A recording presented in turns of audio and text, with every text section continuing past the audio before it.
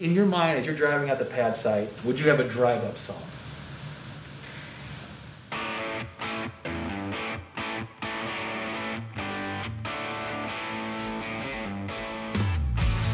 To get to that moment where I'm sitting in the seat, buckled in, and that countdown's beginning. Three, two, one.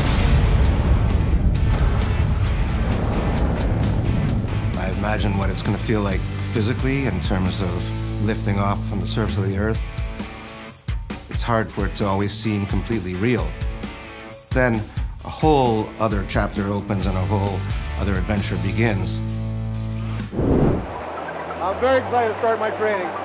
Been waiting for a long time. The anticipation's been killing me. Now here we are today. I'm ready.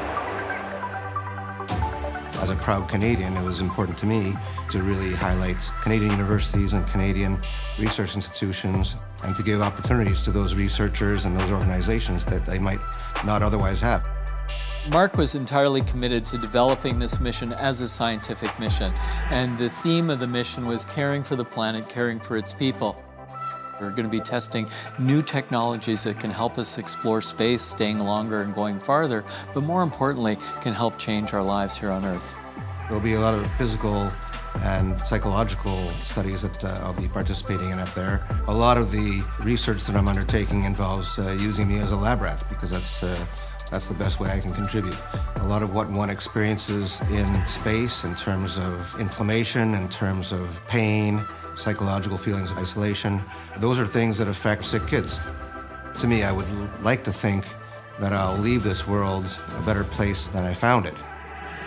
The crew is setting a high standard for private astronauts in the future because they're dedicated to science, they're dedicated to the mission, they're able to learn all these objectives, they are building in educational outreach. It's really exciting watching this come together. I'm very excited to work with you to complete your science experiments and your educational outreach when you get on board ISS. We know you guys are prepared and we'll be supporting you here from Mission Control in Houston.